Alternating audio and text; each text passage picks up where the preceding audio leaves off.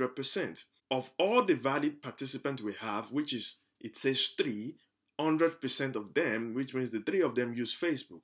For the Snapchat, out of the three valid participants we have, two of them use Snapchat. And out of the three valid participants we have, two of them use Instagram. What is the problem we identified here? Which is answering the question dealing with missing responses.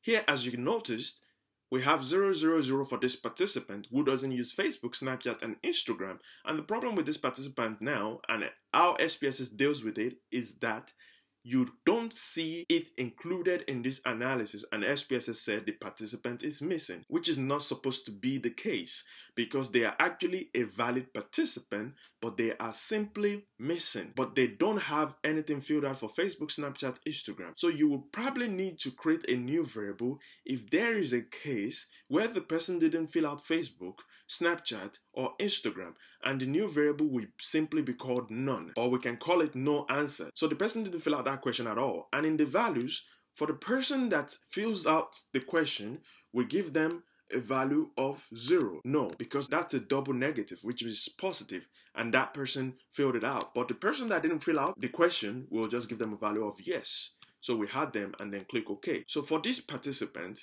we will give them a value of 0 because they answered. They will give this one 0, they answered. We give them 0 because they answered all the question. But for this participant here, we give them the value of 1 because they didn't answer any of the questions. So now let's do this again and try to see if that's going to be corrected. So let's go to Analyze and go to Multiple Responses and define variable set. Now this time around, you know we have a new variable, so we're going to remove this and we're going to add Facebook Snapchat, Instagram, and then we're going to add no answer as well. And then it's categorical variable one, and we call it the name of social media, and then add it as a new multiple response. Close this window, go to analyze, multiple responses, and then frequency, and then move in your social media variable and click OK. Now, as you can see here, there is no longer a missing participant. Compared to the first one, you see we had missing, one participant missing, because we have this variable of no answer, which means that the participant didn't answer any of the questions.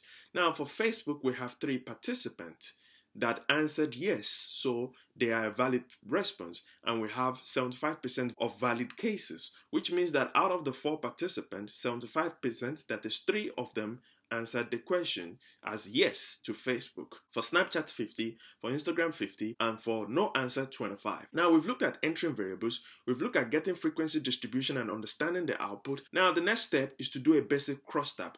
So we can do a basic cross tabulation looking at the association or the difference between those who use Facebook, Snapchat, and Instagram. All you have to do again is go to analyze, multiple responses, and this time select the cross tabulation. You can look at Facebook and Snapchat, for example. Put one in column and the other one in row. Select the Facebook and define the range. And here we have uh, minimum is 0, maximum is 1. You remember the values we had. And then for Snapchat, we define the range as well. Minimum is 0, maximum is 1. Continue and then select options. In the options, you can get cell percentages for your row, for your column, and for your total, and then continue. This is a basic cross tabulation and you would really not need but just in case you want to cross tabulate your responses you can simply use this function. As you can see from our output screen for those people that answer 0 to snapchat and they answer 0 to facebook there's only one participant. And for the participant that answered 1 for facebook and 0 for snapchat there's one participant.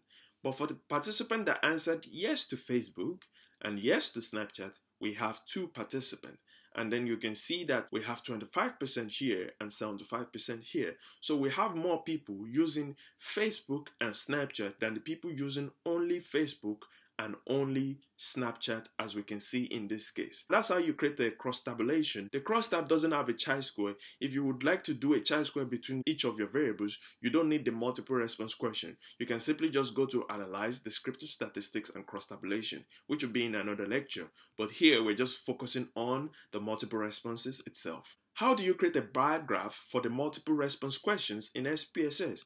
The first way you can create a bar graph is to actually select this column here and then plot it into a bar graph.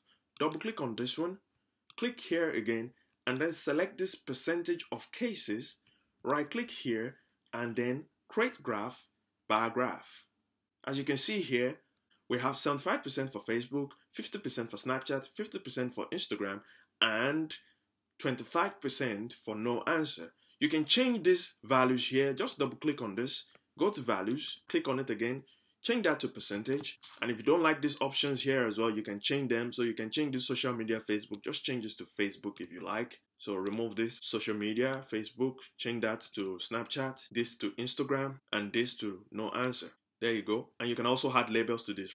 Select all of them, right click on it, and then show data labels.